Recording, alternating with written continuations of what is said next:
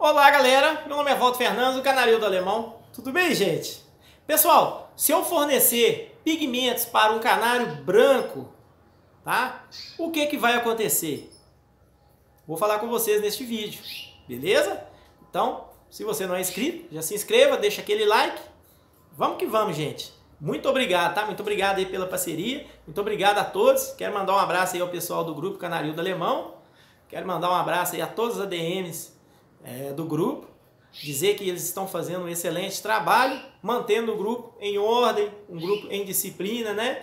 E é um grupo onde todo mundo participa, todo mundo é ajudado e ajuda também, tá? Um excelente grupo, graças a Deus, né? Parabéns a todos aí do grupo, em geral, tá bom, gente? Então vamos lá. Gente, você tem um canário branco, você forneceu qualquer tipo de pigmento para este canário, esperando que você vai obter ali uma coloração bonita, pode saber que não vai ficar legal não, o canário vai ficar manchadão.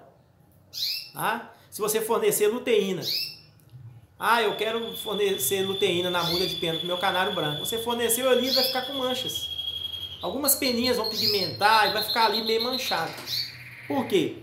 Se você fornece luteína para o seu canário, seu canário tem que ter a predisposição genética, fator amarelo. Ele tem que ser um canário da, da, da, da genética amarela. Então ele vai pigmentar, se ele tiver essa genética aí, né, sua genética, é, a, o, o, tom de amarelo. Aí ele vai pigmentar, vai ficar amarelo. Não adianta você fornecer, se ele for branco, você fornecer e querer que ele fique amarelo, não vai ficar não. Canta chantina, da mesma forma, forneceu para o canário ver, um, é, canta chantina vermelha, né? Canta chantina para um canário branco, vai ficar manchado Algumas peninhas vão pigmentar ali meio, meio estranho, vai ficar aquele canário manchadão ali. Não vai ficar bonito, não vai ficar legal não. É melhor você manter ele branquinho ali. Tá? Ainda mais os recessivos. Entendeu? É melhor você manter ele branquinho. Não adianta você fornecer a cantachantina também para os canários brancos, vai ficar feio, tá bom?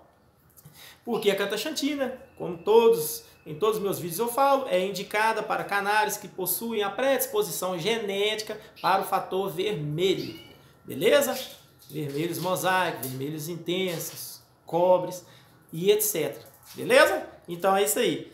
Valeu a dica? Se vocês gostaram desse vídeo, deixa aquele like, se inscreva no canal, vou ficando por aqui. Desde já agradeço. Muito obrigado. Deus abençoe todos sempre. Um forte abraço. Tchau.